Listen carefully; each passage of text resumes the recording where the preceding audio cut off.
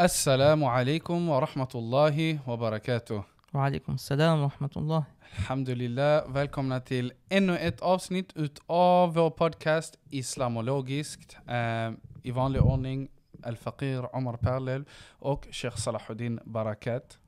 Eh, på, vill bara påminna att om en liten grej. Vi har sett att bland de som tittar på våra avsnitt så är det typ 50% som inte prenumererar. Det kanske är normalt. Är det det? Jag vet. Det känns aning. att folk inte vill trycka på en knapp. Jo men det är många som ogillar oss också som tittar. Jo det är sant, men då finns det ändå någon form av underhållningsfaktor, tror du inte? Kommer man åtminstone stötta på, på något sätt? Nej, jag ja, vet inte. Ja. Khair inshallah. Men ni som faktiskt gillar, tveka inte på att klicka på prenumerera, eh, kommentera, dela och hela faderullan så att kanalen kan fortsätta att växa inshallah. Yes, inshallah. Okej, så i den gångna veckan så har det ju hänt, Hänt en del. en hel del som Mm, vanligt. mm, Eh, vi mm. tänkte att vi skulle börja försöka och åtminstone dela upp det lite med inrikes, utrikes, Ja, nationellt precis. kontra internationellt. Eh, om det är någonting som är utav värde. Ja. Ehm, ingen kan väl ha missat vårt föregående avsnitt där vi eh, bollar tillbaka lite mot Dagens Nyheter. Precis. Och sen så gjorde de ju en artikel som jag tror kom ut, var det i söndags? Ja. I söndags? Det var stort. De kom ut stort kan jag säga dig. Alltså det var ju första sidan. De kom ut på första sidan och I sen... den tryckta tidningen. Okej. Ja, ja, det var på första sidan i den tryckta tidningen. Men var den inte en stor, art- alltså lång artikel Det var en också? lång artikel. Det var en lång artikel. Var det Man det känner ena sig av den? nästan hedrad liksom. Var nästan. nästa, nästa steg är väl skriva en bok. Ja, lite. Det lite är nästan åt det hållet Lite va? så ja. Ja, ja. Men eh, alltså om man ska kommentera lite kring artikeln i fråga. ja. Det var en bra artikel. Jag tycker ändå det I i, stora, i stora drag. Ja. Det finns vissa grejer Ja. som vi kan kommentera men ja. jag tycker ändå eh, han fångade ändå intre, intressanta kontraster. Och Ja. Jag tyckte inledningen var väldigt bra faktiskt med idbönen och det som sades i idbönen och liknande. Det gav en bra intro. Eh, Och den, den var alltså stundtals rättvis, kan jag tycka. För att den skildrade både den ena saken och Ja, den andra. ja. Vilket många andra som skriver en massa inte alls eh, Nej, precis. anstränger sig för att få Precis. med. Precis. Men, men det, var, det fanns två grejer som jag reager, reagerade på. Precis, och en av de här grejerna var ju det som sen syntes mest liksom i rubrikerna, i ingressen, liksom i den Ja. tryckta delen. Vilket är synd, det drog ner skulle jag säga artikeln lite grann. Men det var väl den här clickbait-aspekten. Är det det ordet du tänker på? Ja, det är det. Separatism. Precis. Och det, för, det, för, Separatism. det, första som slo, det första som slog mig, det var typ att vad jag förknippar med separatism är Mm. typ eh, Ukraina-situationen med ryssar och man menar på att det finns liksom ryska separatister i Ukraina som arbetar mot det goda och vill förena Okej, sig. okej, Du vet okej. separatism, Ja, ja, ja. Det är väldigt så lite här så här... eh, slagord.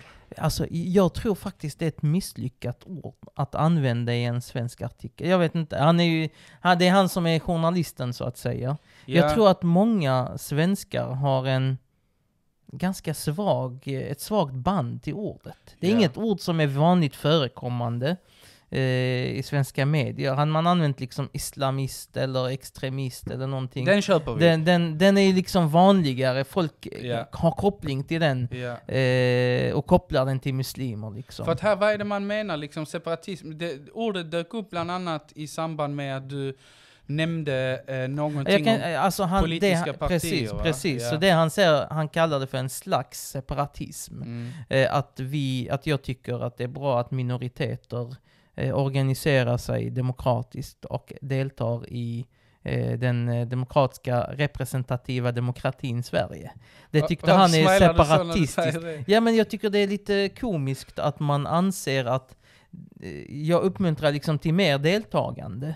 Mm. Men deltagande på våra premisser representerandes eh, minoriteter som jag anser har fått en allt svagare ställning i de konventionella partierna. Mm. Att jag uppmuntrar till sådant deltagande, att man kallar det för separatism. Mm. Vad är liksom då motsatt platsen att jag ska, att vi antingen ska lägga oss liksom i de konventionella partierna, vilket är troligtvis det han vill, Mm. eh, eller att uppmana folk att inte delta överhuvudtaget. Mm. Det hade varit separatism. Mm, exakt.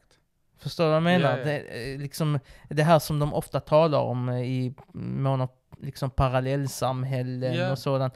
Då hade jag kunnat förstå ett sånt argument, men det är löjligt. Jag tycker det är, det är ganska löjligt. Men, men, eh, d- jag tror man måste förstå helheten. Och här, när började detta användas mot muslimer? Vet du det? Ordet separatism. Ja, ja. För det är inte, det I är, nytt, det, söndags, är eller? ja, det är relativt nytt i Sverige. Ja. Men det började användas 2020 av Macron. Okej. Där började man tala om muslimsk eller islamistisk separatism. Macron, det franska kräket. Där plockade de det. Ja. Är du med? Eh, och det, det, an, det har ju använts för att slå ner mot muslimska organisationer och liknande.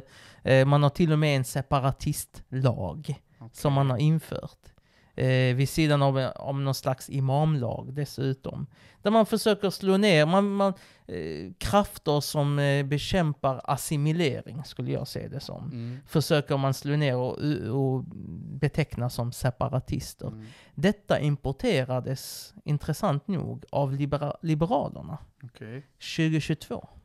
Men, men du sa 2020. Ja. Jag har hört detta ordet typ 2014 faktiskt, när jag tänker efter.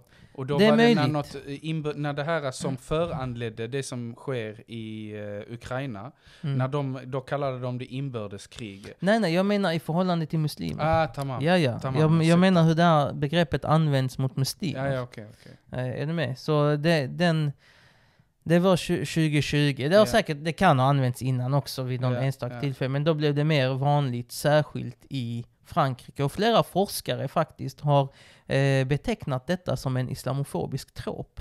Aha. Alltså en, en tankegång som är väldigt islamofobisk. Eh, och man har, det finns till och med flera eh, studier kring det här begreppet, hur det används, och särskilt i Frankrike, Ja. i islamofobiska syften. Mm. Så jag, jag skulle kalla detta för, Niklas tyvärr föll för en islamofobisk trop i detta fall. Eh, detta begrepp importerades eh, av Liberalerna 2022. Mm. Började man tala om sådant.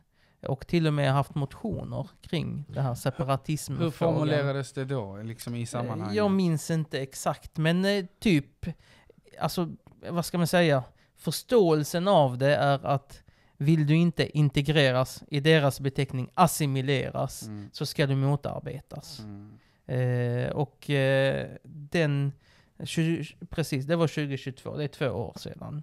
Eh, och det har blivit, jag vet att Timbro har släppt, eh, släppt någon bok om detta också. Det har skrivits en del artiklar i de här kretsarna. Så det är intressant nu att det här tas in av Niklas Urenius och DN. Mm. Eh, och eh, i princip försöks normaliseras. Att Ja. man ser på muslimer som, som just i detta fall uppmuntrar till deltagande i den demokratiska processen Mm. eh, för separatister. Det är ett intress- intressant fenomen Ja, alltså det, det kändes ju lite som att han hade inte mycket att gå på. nej, alltså, fattar du vad jag nej, menar? det, Det, han, eh, det, det var liksom eh, i de svaren som du gav i vårt förra Ja, avsnitt. Det var ja. ändå sakliga svar, eh, intelligenta, välgrundade. Det var inte något som man bara drog ut ur en bakficka. Så jag tror Nej. någonstans han bara, åh snap, alltså, han, han kom ju inte med något nytt. Ja, Alltså Hildes artikel som hon skrev, ja. eh, han upp, det var en upprepning i Mm, princip. mm. Han hade inte mycket nytt att säga. Det är väl först att konstatera. Eh, och sedan så, det kändes, jag kände som två saker. Först försökte man bara liksom försöka hitta någonting att hålla fast vid. Mm. Och det här, och så, nej det här, så vidare.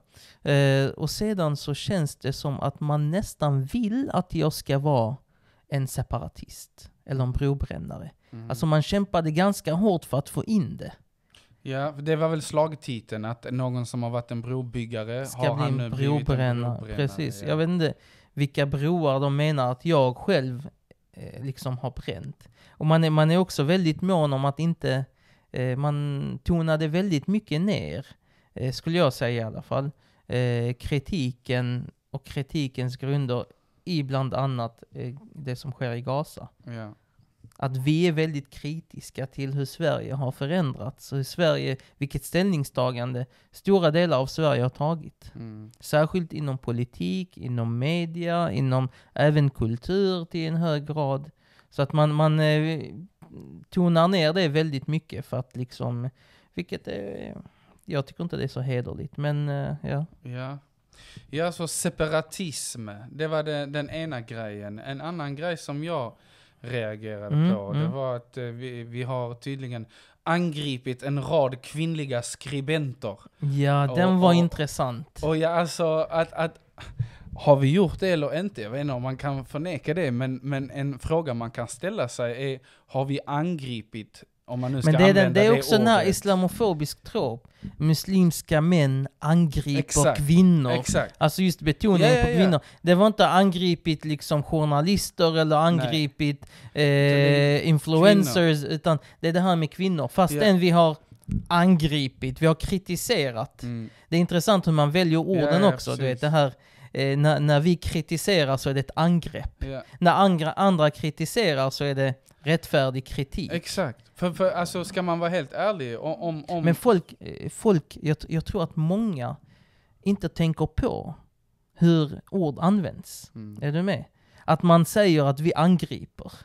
Istället för att säga vi kritiserar. Och när man kritiserar så att de säger kritiserar, så ingen som säger, han säger inte att de, vi har blivit angripna Mm. av Hilde exempelvis. Exakt. Eller av Elaf, hon Eller- eller angrep oss. Om något så var det ju ett motangrepp i så fall. Ja, ja, men det är den här klassiska... Ja. Eh, Men, men det, det jag ville komma till, det, det är liksom att eh, om någon har blivit angripen så har de ju inte blivit det baserat på deras kön. För att könskvotering är inget som vi sysslar med. Men det är projiceringar. Eller du vet, när man går runt och tänker i de eh, banorna hela tiden så projicerar man det på andra också. Ja. Men vi har ju kritiserat en hel del män också, för den ja, delen. men samtidigt vill jag också nämna att vid vissa fall där vi har säg, an, använt oss utav eh, uttalande ifrån forskare eller vetenskapsmän eller vetenskapskvinnor så har en hel del varit kvinnor. Kvinnor. Så det är inte som att vi... Ja. Det där är trams. Det Ja, där är det här sånt slaget i Det luften. där du vet. feministtramset, radikalfeministiska Ja. tramset om eh, Du vet, eh, vi kan också sitta och peka, eh, varför tog han över artikeln, Mm. mannen, Niklas? Den delen av Eh, artikeln var med? den eh, könskvoterade delen Ja, av ja. artikeln. så, Nej, så, det var eh, inte mycket att komma med där, Ja, jag. Och tyvärr följer Hildes, för när, vi, när jag pratar med Hilde här, så pratar hon om det här decaffeinated. Mm. Att hon ville ha fram det. Det där verkar inte Niklas ha gillat, så han har verkar ha plockat bort det. Så jag vet inte hur mycket utrymme hon har fått Sån i det här. manstyrann han är alltså. I alla fall. Jag, jag tycker det är intressant, så dels hur man använder begreppen. Mm. Separatism, angripa, allt det här. Eh, och vilka troper man använder, alltså vilka tankegångar man vill Mm. leda Mm. eh, folk till. Så Mm. att jag, jag tror den, eh, Mm. eh, de här aspekterna är, är viktiga. Nej men det, det är intressant, och sen det är också intressant en annan grej. Har du, har du, känner du till det här fenomenet inom gangsterrap? Att eh, när det blir en beef mellan två stycken, Mm. så säger du och jag, vi är liksom gangsterrappers, ja, ja. och du är West Coast och jag är East Coast, och så har vi en beef. Och sen ser någon att det här blir en stor hype, så Ja. tänker han, "Ja, men jag ska också hoppa in och Ja, börja ja, beefa. Ja, ja, ja, ja. Jag tyckte det här... Det finns lite känsla av det menar Ja, du? lite känsla av det. Det var någon möjligt. tomte, jag vet inte vad han hette, Helmor, Aha. Helmor Eriksson eller något liknande. Okej. Han skrev en riktigt fattig liten artikel, eh, som jag, Okej. tror, jag tror den kom ut idag, på, också på Dagens Nyheter. Okej. Där han ville, han sa någonting att Salahuddin Barakat, han låter som en sverigedemokrat. Och sen man bara okej men det här låter ju ändå underhållande. Okej, 20% av Sveriges befolkning är Sverigedemokrater för det första. Ja. Eh, Okej, för det andra, har man inte bättre saker att komma med? Man, man Nej. fördummar våra argument, Mm. okej? Mm. Eller utelämnar dem. Och så tar man till öknamn.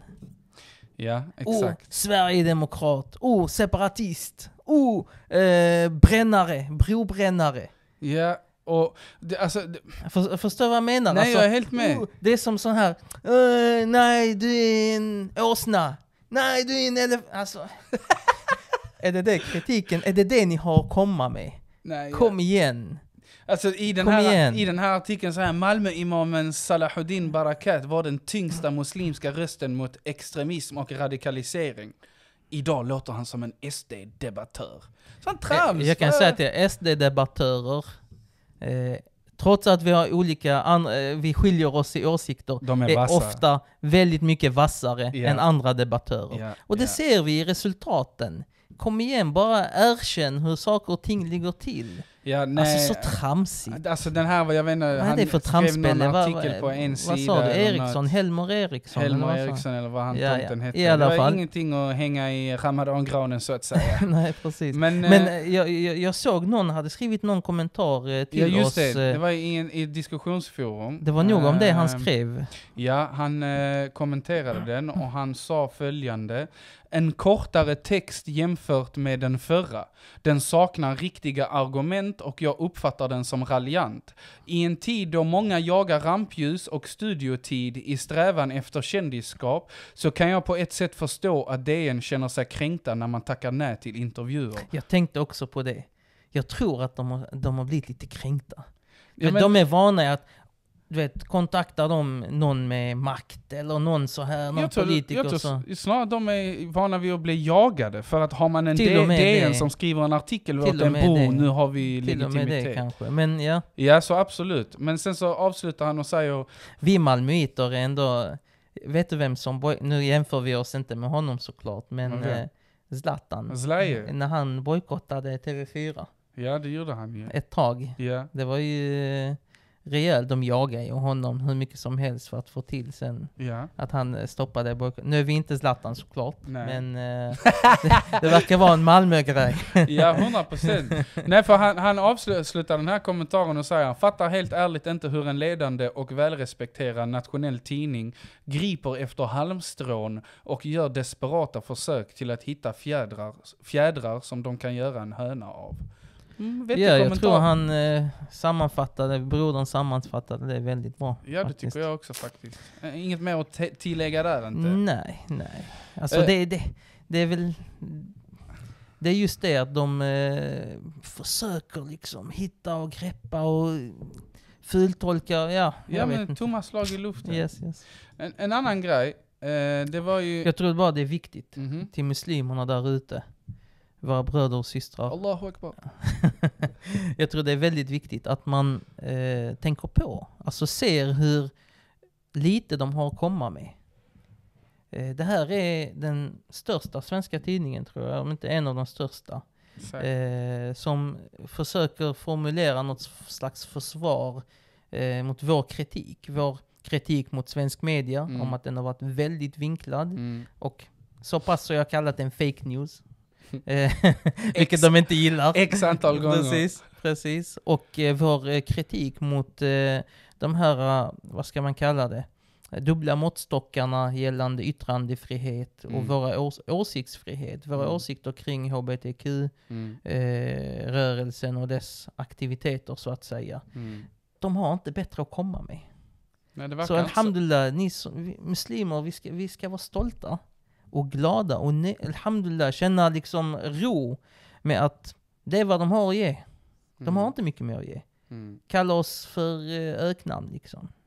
Mm. Separatister. Men nu går de nog i taket när, om någon annan, om, om någon oliktänkande hör det. För du, du vet, det är många som försöker hela tiden komma med att du talar inte för Vi- alla muslimer. Ja, ja, jo, den, den försökte de på flera gånger. Jag märkte Ja, det också. Den ja. var intressant. Var är de här andra Ja. rösterna? Nio och en Var halv person de? har skrivit till Elaf Ali att de visst det tycker om bögar. Precis. Var är de här personerna? Jag vet inte Sinna, jag vet Den inte. där Ali som de har, är han ens på riktigt? Eller är det bara någon fake-grej de har gjort? De har fotat Han- liksom eh, någon kollega på DN eller något? Nik- Niklas, eh, han, eh, jag fick ju vara med på en hörna här och där ju, så Ja, jag ja, känner mig ja, väldigt precis, hedrad över. Eh, han, han poängterade ju att eh, sidekicken eh, Omar Perlelv, han eh, ifrågasätter om han överhuvudtaget existerar. Och då Ja, pratar vi om han här Ali som då ska varit Precis. en hbtq-person. Som besöker oss. Ja, exakt. Ja. Intressant ja.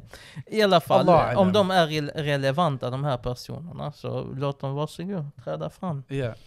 Nej. Ali är välkommen. De är välkomna. Inget snack Och sen har vi, jag, jag, eh, ja, nej, men det var, vi kör vidare. Vi ska inte fastna på det. Det Nej. förtjänar inte så mycket tid. Nej, eh, en annan grej som eh, också var Inrikes. inrikes, Ja. det var ju det här, uh, var det terrordåd eller, Mm. eller, eller så kallar det. vi inte sådana som gör sånt. Nej, precis. Nej men det var väl det här med att det hade funnits en, eh, någon vänsterrörelse-jippo. Det var, nej, det var någon antifascistisk grej. Expo skulle varit där, eller Okej. de var där. Okej. Miljöpartiet Mhm. och Vänsterpartiet Okej. hade något arrangemang mot Mhm. fascism och så vidare. Mhm.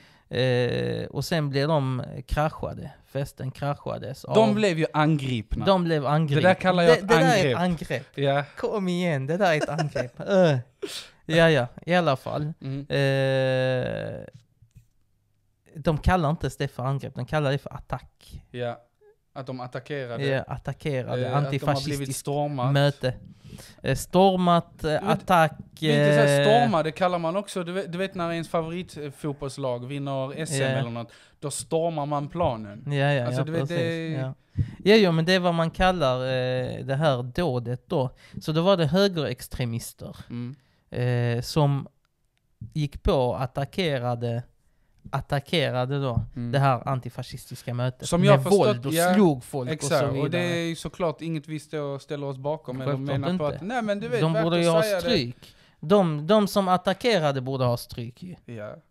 Får man säga så? Varför inte? Ja okej. De förtjänar det i alla fall. Nej men kanske någon formulerar det till nu sitter imamen och uppmanar till våld. Ja, ja, jo, jo, jag förstår förvånad. det. Ja. Nej men, men, men... eh, Nej, vi är emot att ta lagen i egna händer, men Ja, eh, i självförsvar, absolut. eh, där, där hade de förtjänat. Nej för att kontentan här Dänga. är ju liksom sättet man rubricerar det för. För att vad, Mm. vad, vad försöker vi få fram?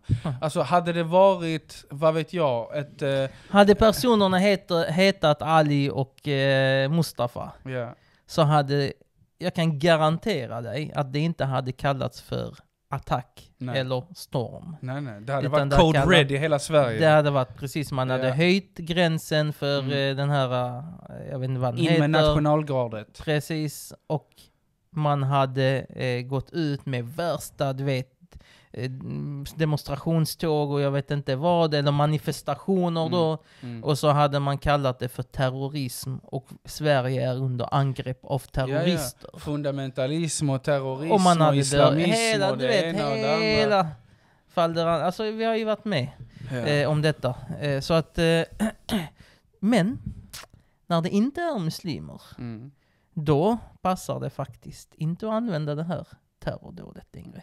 I alla fall inte av media, och det som vi har varit väldigt kritiska mot. Mm. Eh, sen kommenterar en eh, person på mitt inlägg, jag gjorde ett inlägg om detta. Ja. På och, fejan. eh, På fejan. Ja. Och då kommenterar en person och säger, med, med, la upp några artiklar och sa Jo men det, vad har du missat? Liksom.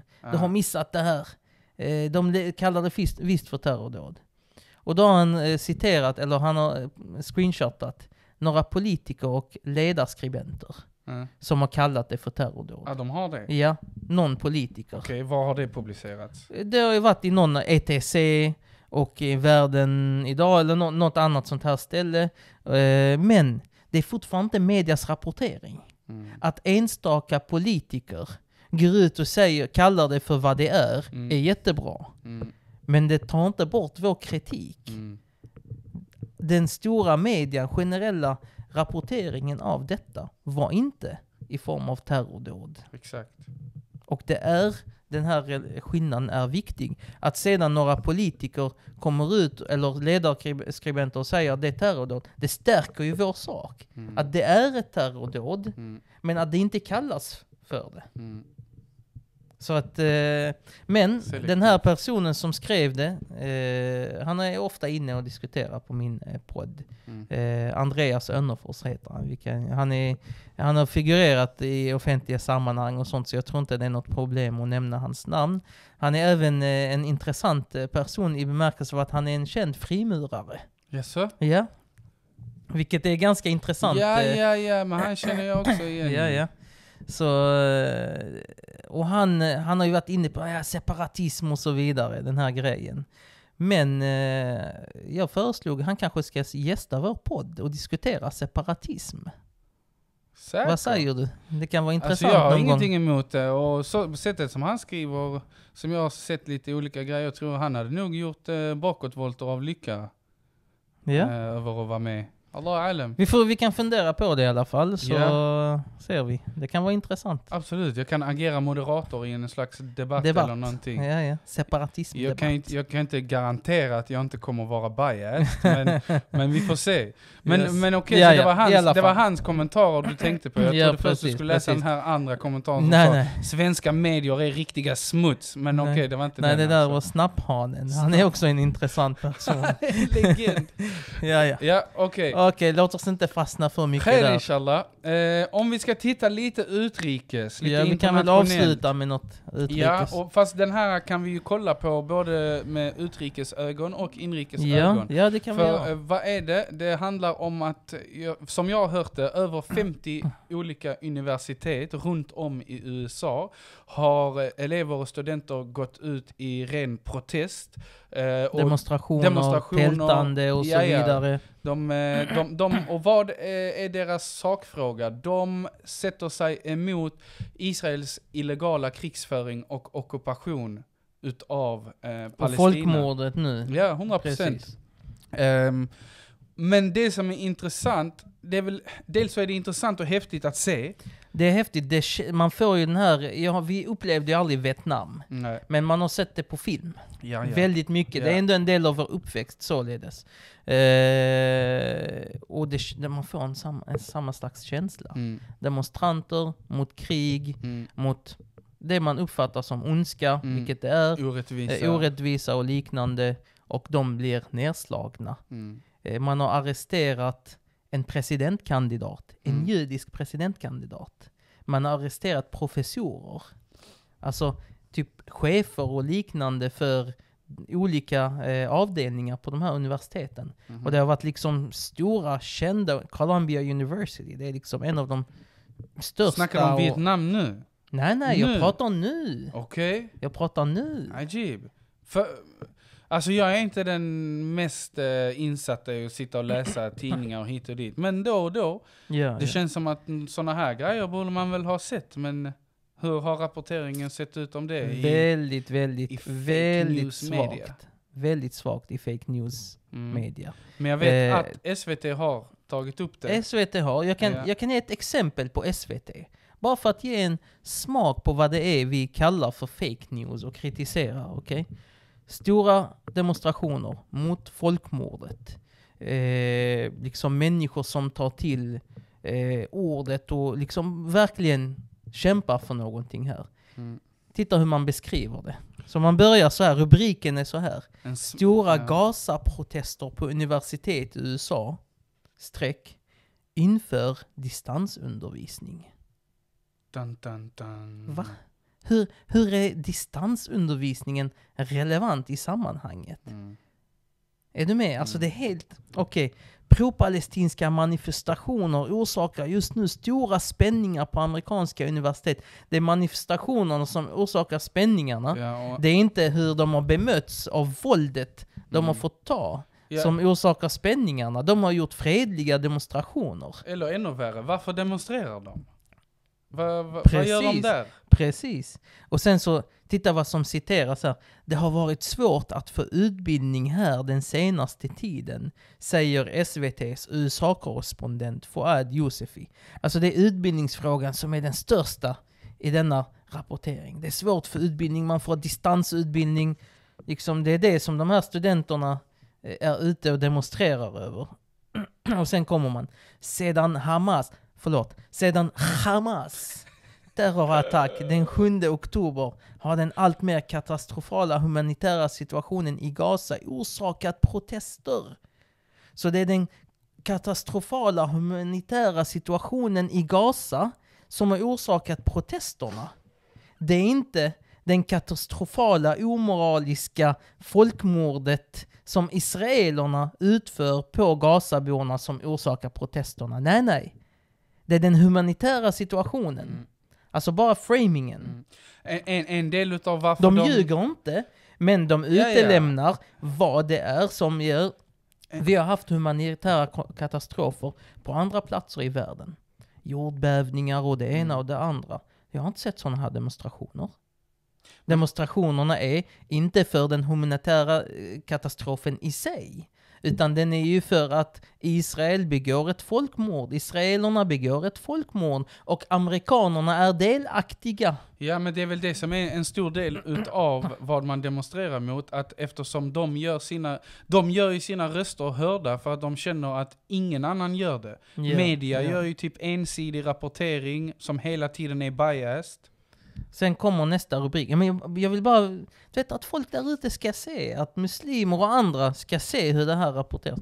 Gått över till distansundervisning, det är rubriken. Nästa rubrik på alltså avsnitt, gått över till distansundervisning. På Columbia University har en stor grupp protesterande byggt ett Gaza-solidaritetsläger på campus.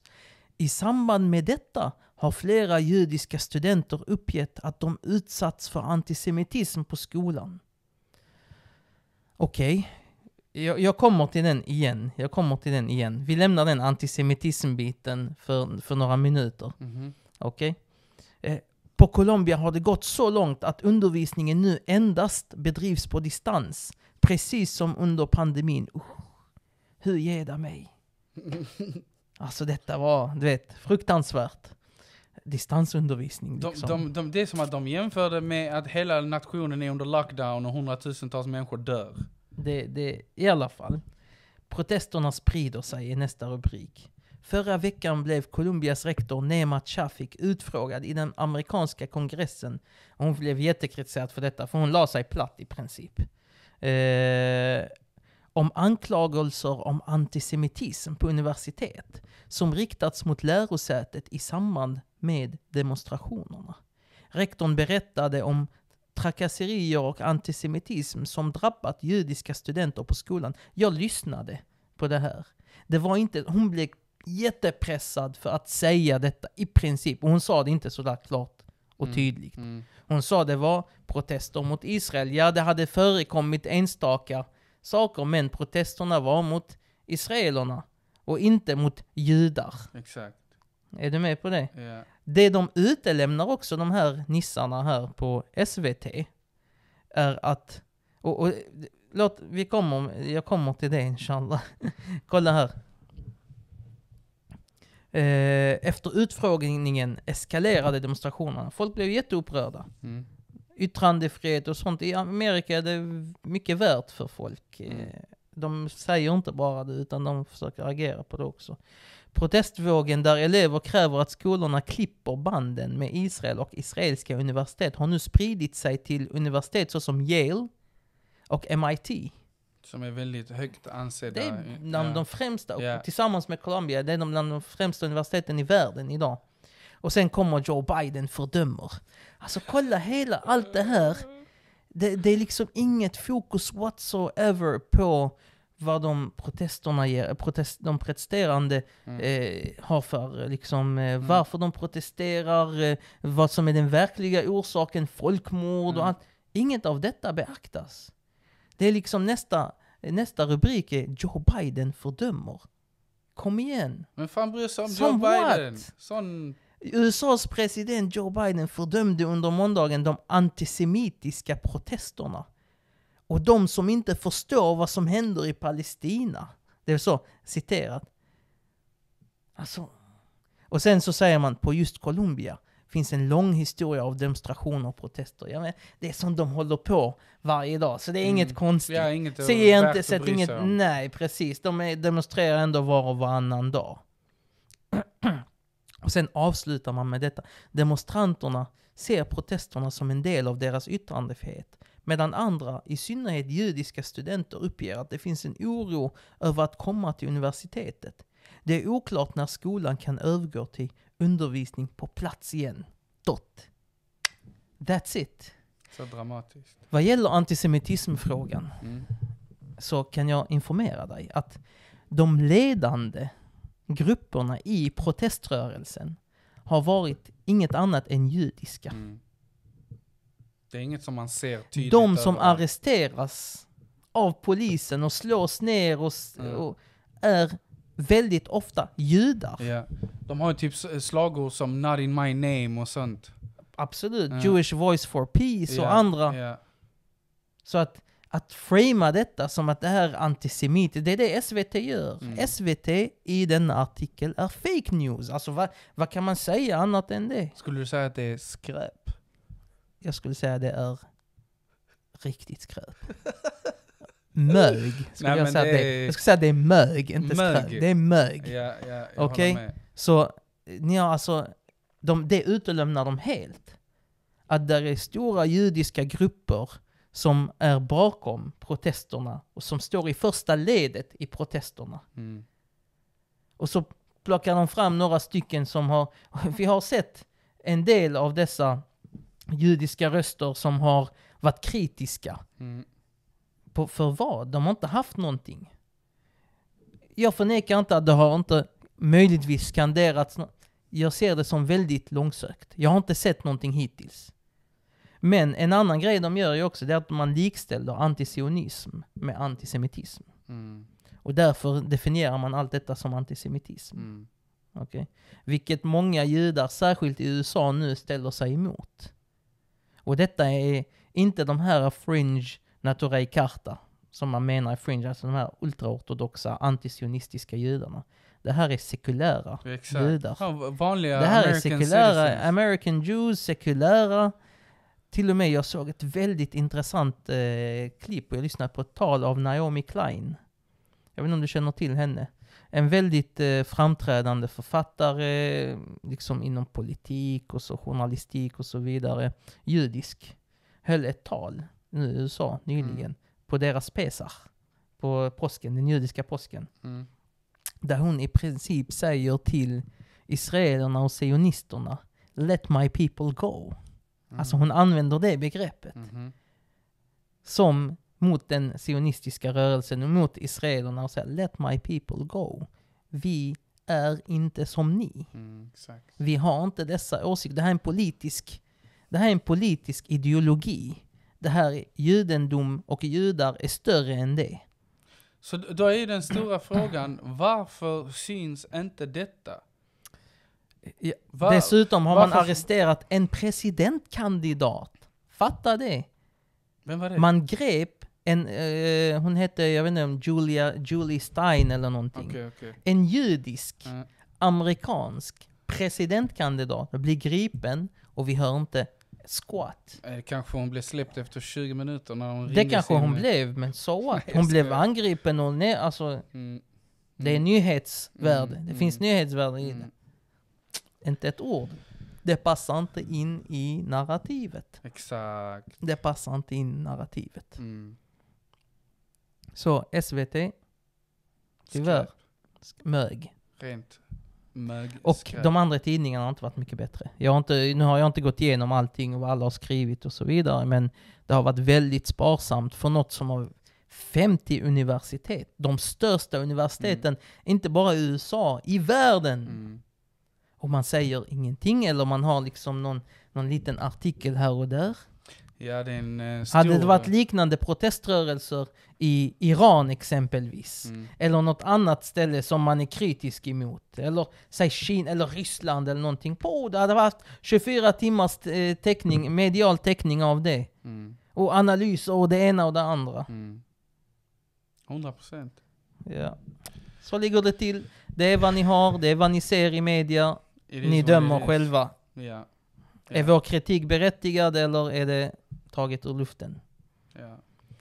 Det återstår att se om det Yes. är någon eh, tomte som ska skriva eller yttra sig.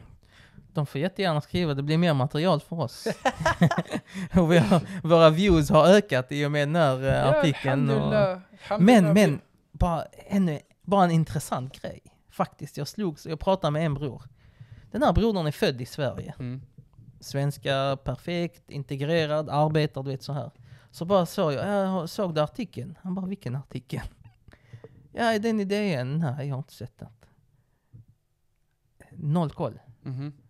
Ingen bryr sig. Ja. DN, folk läser inte DN längre. Nej. Alltså nä- nästa generation, du vet. Eh, Folk läser inte DN. Folk Nej, läser inte Sydsvenskan. Folk, folk ser det om det kommer i sociala medier, om något dyker ja. upp. Och ofta är det vi själva som delar det. Ja, ja. Det, kallas, det brukar kallas för gammelmedia. Det är gammal media. Lite så Det ja. är det. Det Jag tror det, det är också någonting som oroar dem, tror jag. Säkert. Säkert. Det var ju en övergång för några år sedan där man Typ när du nämnde här, här eh, för en stund sedan, typ ja det, var- det här var en första sida artikel i den Ja, ja, ja. fysiska tidningen. Ja, Det var nästan så jag fick tänka i två sekunder, vad är en fysisk tidning När höll du en fysisk tidning senast? Det, det, jag kan säga att det är så länge sedan att jag inte ens minns precis när Ja, det var. Ja, ja. Eh, och om, när det var så var det typ för att jag var på någon random plats och typ Det låg där jag någonstans. väntar på Ja, någonting. Tandläkarens väntrum eller något, man vet inte. ja, de flesta mediehus idag lever ju på skattepengar. Alltså de överlever på skattepengar. De blir sanktionerade. Eller inte sanktionerade, vad heter det?